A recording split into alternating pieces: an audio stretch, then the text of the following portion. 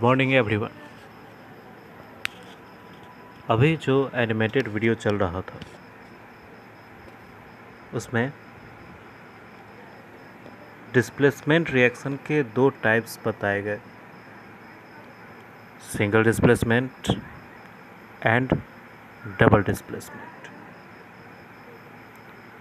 आज की वीडियो में हम सिंगल डिस्प्लेसमेंट रिएक्शन की बात करेंगे। तो चलिए, शुरू करते हैं। Class ten, chemistry. Chapter one chemical reaction and equation the topic is single displacement reaction पहले तो हम ये जान ले कि ये है क्या। ये वो रिएक्शन है जिसमें किसी कंपाउंड में उपस्थित किसी एटम या ग्रुप ऑफ़ एटम को किसी दूसरे एटम द्वारा डिस्प्लेस कर दिया जाता है, हटा दिया जाता है। तो इसको हम सिंगल डिस्प्लेसमेंट रिएक्शन कहते हैं। एग्ज़ाम्पल के लिए, अगर हम किसी कम क्रियाशील मेटल को अगर रिएक्ट कराएँ किसी दूसरे अधिक क्रियाशील मेटल के साथ तो क्या होगा? जैसे, अगर हम लोहे के कील को, यानी लोहे के कांटे को कॉपर सल्फेट के सॉल्यूशन में डाल दें, तब लोहा कॉपर सल्फेट से कॉपर को अलग कर देता है और खुद उस सल्फेट के साथ रिएक्ट करके एफ़ एस फोर बनाता है। ये जो रिएक्शन हुआ, ये हमको मालूम कैसे चलेगा?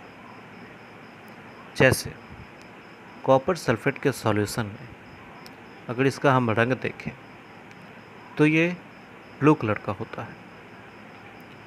और जब हम इसमें लोहा डालेंगे तो कॉपर सल्फेट के सॉल्यूशन से ब्लू रंग हटता चला जाएगा, गायब होता चला जाएगा। और जब ये एफ़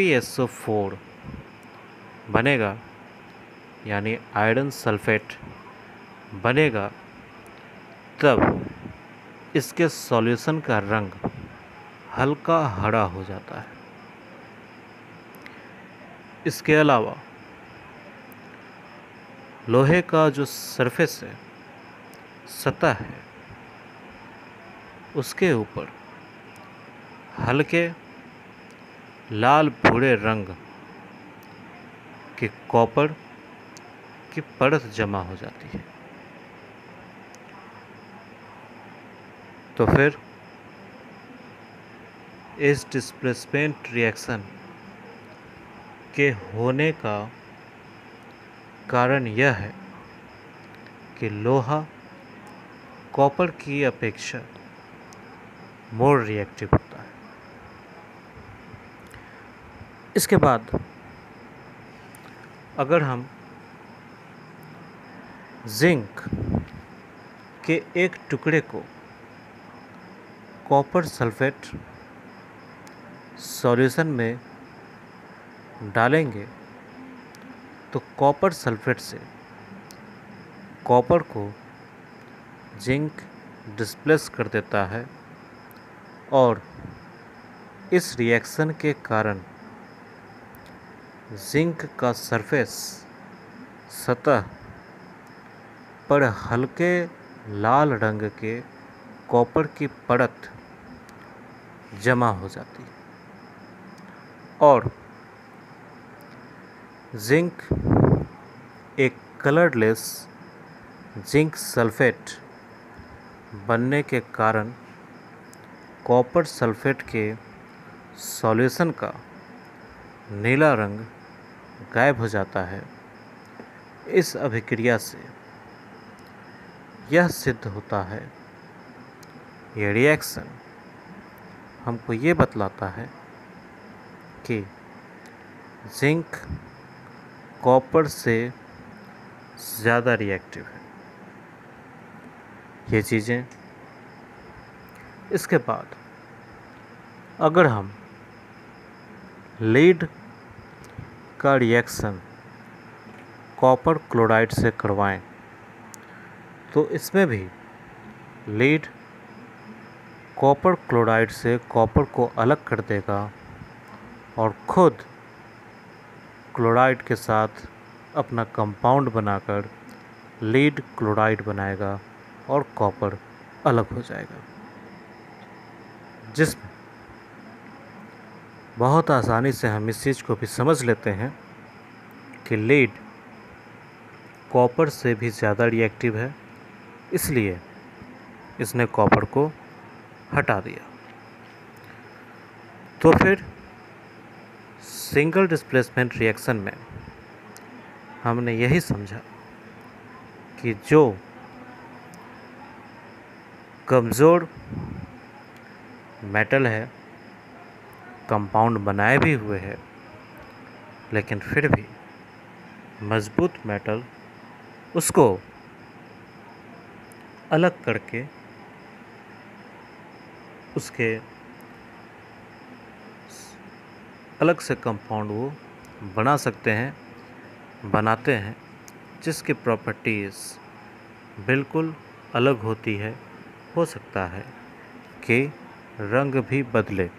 जैसे कॉपर सल्फेट सॉल्यूशन और आयरन वाले में हम देखा कि कॉपर सल्फेट का रंग ब्लू है, लेकिन जब ये आयरन सल्फेट बना तो फिर इसका रंग लाल भूरे में बदल जाता है। तो ये चीज़ें हैं।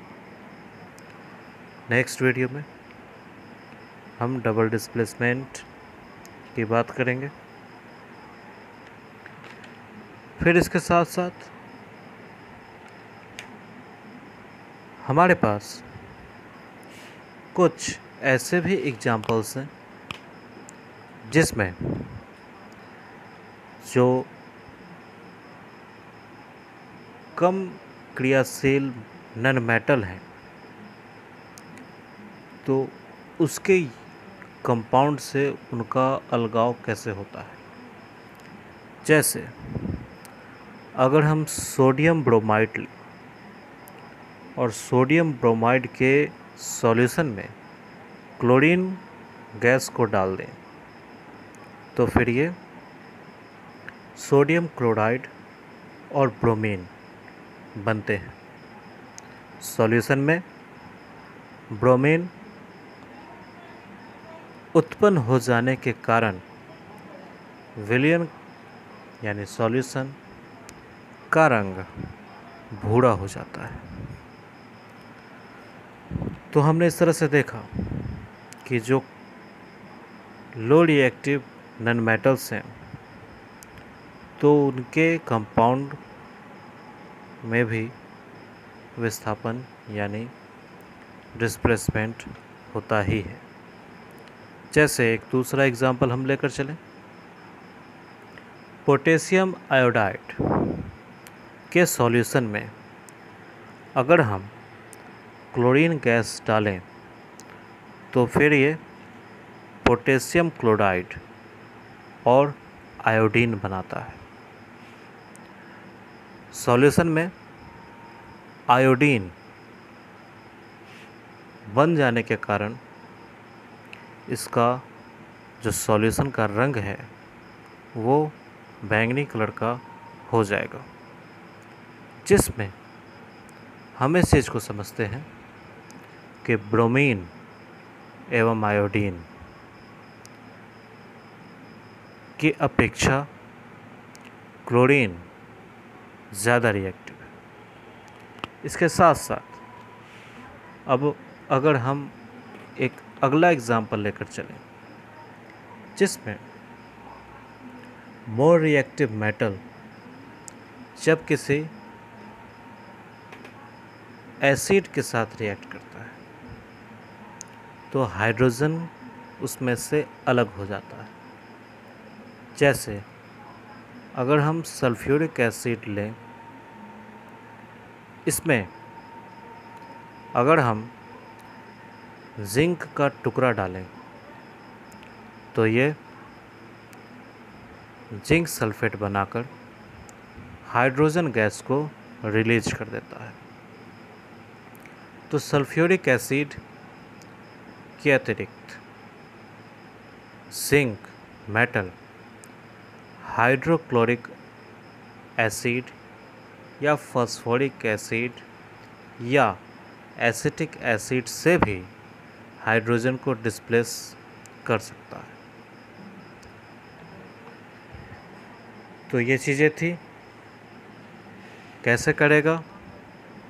हम अगर एक एग्ज़ाम्पल लेकर चलें, एक एक्टिविटी लेकर चलें। तो तीन टेस्ट ट्यूब अगर हम ले रहे हैं पहले में हाइड्रोक्लोरिक एसिड, दूसरे में फॉस्फोरिक एसिड और तीसरे में एसिटिक एसिड अगर हम डाल रहे हैं।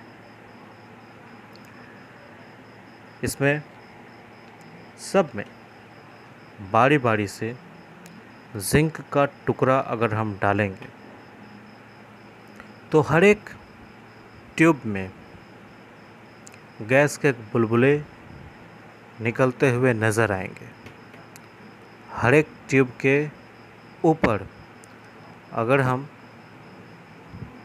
सलाई का जलता हुआ स्टिक अगर लगाएँ तो पॉप साउंड आवाज़ करेगा और इसके साथ साथ वो जल उठेगा।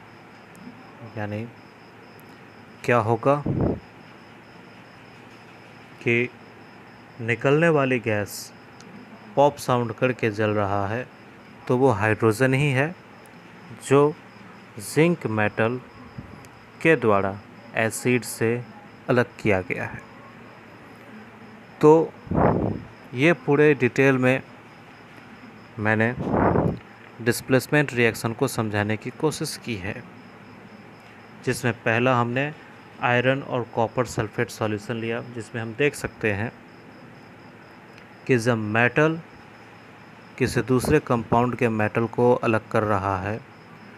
तो सॉलिड और एक्वस के बीच का रिएक्शन है तो वो हमको एक्वस और सॉलिड ही प्रोडक्ट के रूप में दे रहा है। इस चीज़ को हम ध्यान में रखेंगे। इसके साथ साथ जब मेटल एसिड के साथ रिएक्ट कर रहा है तो सॉल्ट और हाइड्रोजन गैस देगा। इसमें सॉल्ट जो होगा, वो एक्वस फॉर्म में होगा और गैस तो हम जानते ही हैं गैसेस फॉर्म का है रिलीज़ होगा। तो ये चीज़ें हैं। इनको आप ध्यान से देखें, समझें। कोई भी दिक्कत हो, पूछें। नेक्स्ट वीडियो में हम डबल डिस्प्लेसमेंट रिएक्शन के बारे में बात करेंगे और इसको और जितने भी उसके टाइप्स हैं, उनको बताई जाएँगी। तब तक के लिए पुराने जितने भी वीडियोज़ हैं, उनसे अपना कंसेप्ट क्लियर कीजिए। कोई भी दिक्कत हो, पूछिए। धन्यवाद।